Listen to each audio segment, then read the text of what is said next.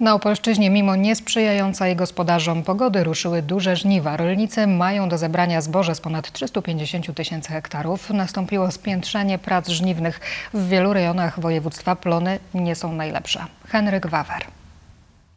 W strukturze zasiewów regionu opolskiego zboża zajmują ponad 70% z 500 tysięcy hektarów powierzchni uprawnej. W plantacjach zboża dominuje pszenica i jęczmień.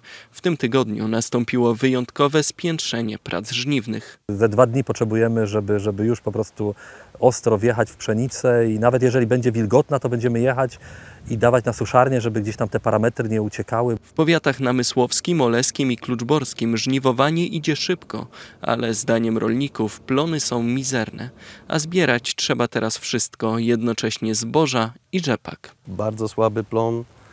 Y, Liczyliśmy tak na 4 tony, że może będzie, bo to tak po cichu zawsze rolnik szacuje mniej, a, a, a, a więcej się rodzi, ale y, kombajn pokazuje, przyczepy pokazują, waga pokazuje, że jest w granicach 2-2,5 tony.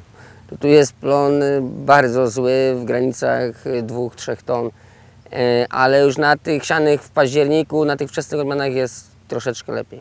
Nieco lepiej jest na glebach w powiatach głubczyckim, nyskim i prudnickim. że jesteśmy już po tych małych żniwach. No i z marszu, nie ukrywam, jeszcze w dzisiejszym dniu wchodzimy już w duże żniwa, czyli w żniwa, jeżeli chodzi w naszym przypadku o pszenicę. Na chwilę obecną te parametry, mówię tutaj o pszenicy konsumpcyjnej, są, e, są dobre. Rolnicy się spieszą, ponieważ pogoda może zniweczyć zbiór tego, co urosło na polu.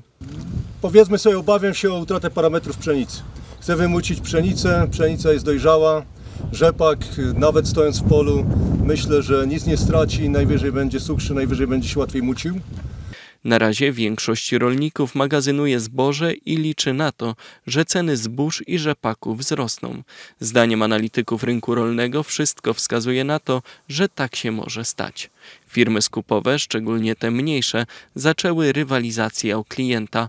Oferują już nieco wyższe ceny za zboże konsumpcyjne i paszowe.